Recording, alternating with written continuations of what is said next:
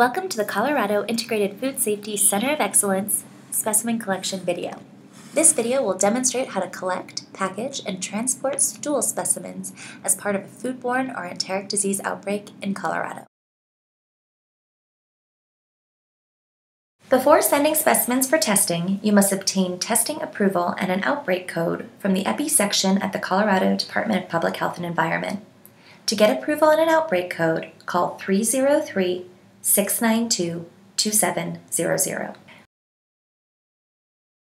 We're working on a point source foodborne outbreak of unknown etiology. Case X provided a bulk stool specimen using the kit and instructions provided. Let's do an Amies swab and package both specimens for transport to the CDPHE lab. First, I'll put on my gloves.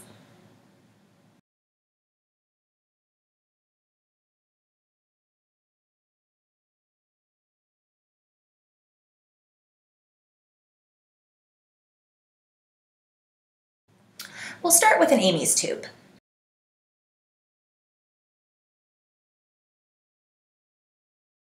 First, before transferring the stool into the tube, make sure the label on the tube is filled out with the case's name, specimen type, and collection date.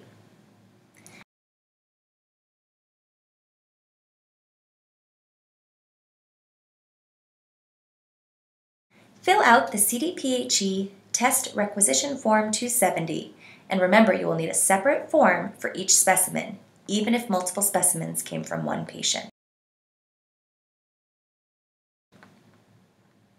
Remove the clear cap from the top of the tube and discard. Insert the swab into the collected stool, completely coat, then insert the swab into the transport media in the tube. Close the tube tightly. Remember, the lab will not test any leaking or damaged specimens, so take extra caution that the tube is tightly closed. Wash your hands thoroughly.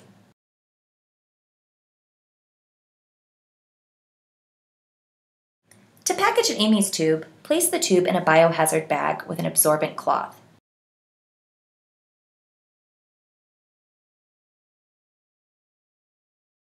Close the biohazard bag securely and place the Test Requisition Form 270 in the side pocket of the biohazard bag.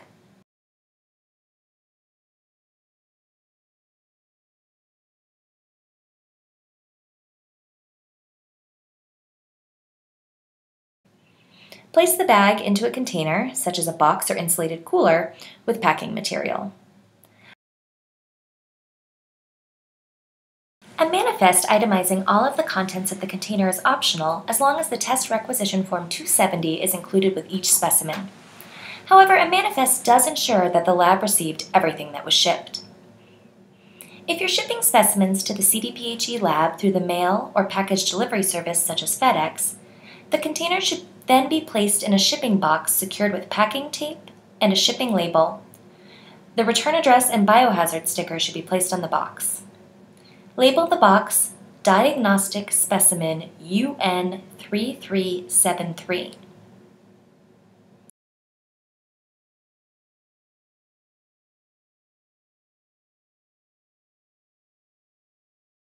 Courier service is the preferred method of delivering specimens to the lab. For courier service, call 303 692 3086 a courier map, schedule, and brochure can be found on the website displayed below. If using a shipping company that requires a street address, send to Colorado Department of Public Health and Environment, Specimen Receiving, Laboratory Services Division, 8100 Lowry Boulevard, Denver, Colorado 80230-6928. For any questions about packing or shipping specimens, call the CDPHE lab at 303 692 3480.